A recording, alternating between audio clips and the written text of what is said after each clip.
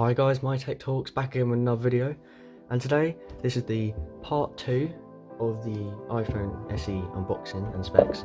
Now I thought, well, I've got an iPhone 6s Plus, iPhone 7, iPhone 8 Plus here, and I thought to myself, you know, might as well compare the speakers, same level, same volume, and everything like that. Also, by the way, I'm not joking. By the way, in my previous episode, please get the fast charging cable and the like power brick because these are so slow and I've got an upcoming video on the fast on like the difference in the speed of like the fast charger between this one and this one as they're literally pretty much the same battery. So this one's going to be on the 5 watts this one's going to be the 18 watts with the fast charging cable. So subscribe and turn your notifications on for that. That would be awesome. 50% volume on the let's start on the iPhone 6s plus. 50% okay bit tinny I'll let you guys listen, see what you guys think.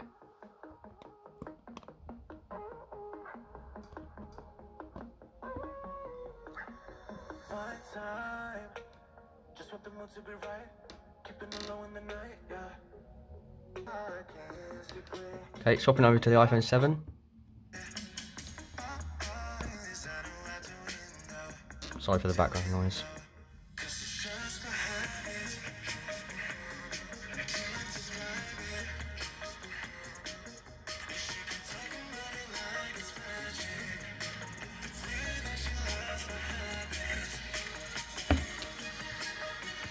iPhone 8 Plus.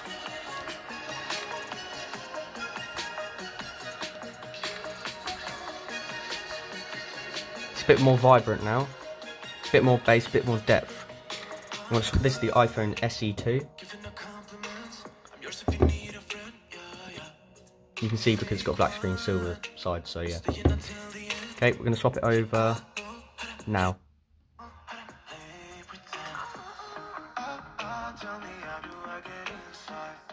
Yeah, so there's more. Don't know if you guys can hear this, but I can. I'm going to give you my opinion. The um, there's more depth. It's a bit better, better highs. The treble's a bit better. Everything's just more balanced, very well. It's um compared to an S10 Plus, this is very flat, but it's got a very good sound signature and it's very very good. Okay, we're going to go full volume on the from this side to this side. So I'm going to pause it now.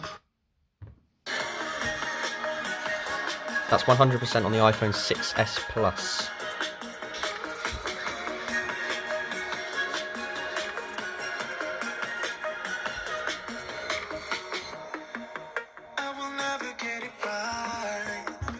iPhone 7. Oh, yeah. Might want to turn up to 100%, that'd be a good idea.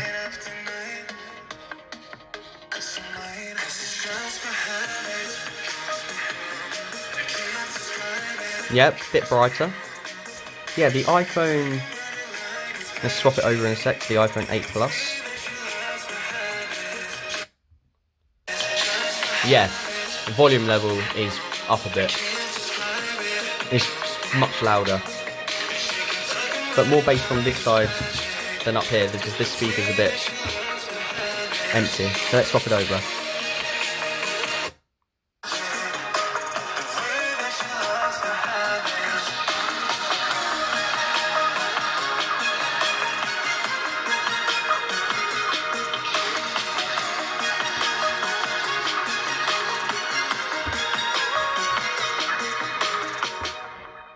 Okay, we're going to swap it up a bit. We've got them all on 50% again. Let's start from the iPhone 6s and work our way up.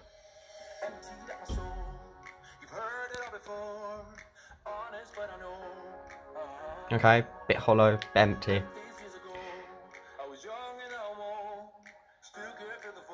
Put your headphones on.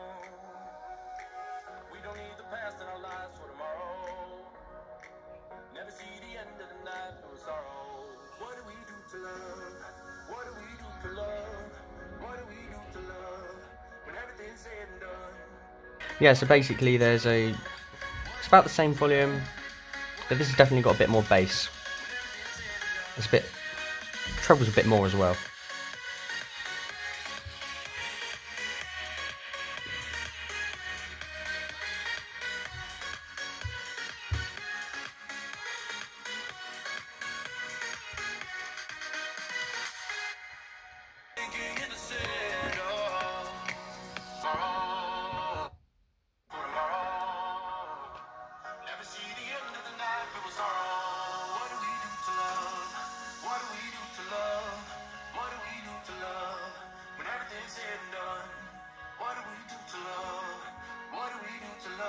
Okay, let's crank up to 100%.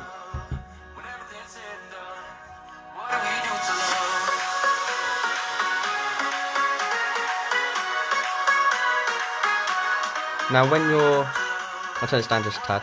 See now when you're... Um, there's a bit more bass when you leave it a little bit off the end, like two notches.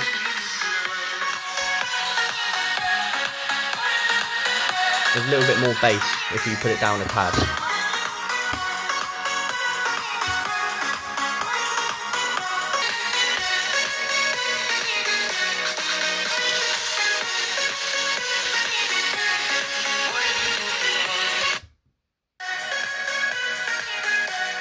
Volume is a bit more on this one. So these two got a lot more volume, but this one's a bit more powerful than this one.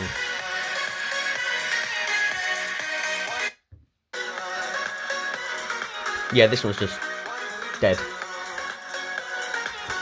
It's decent, but these two here and this one, this one's really good.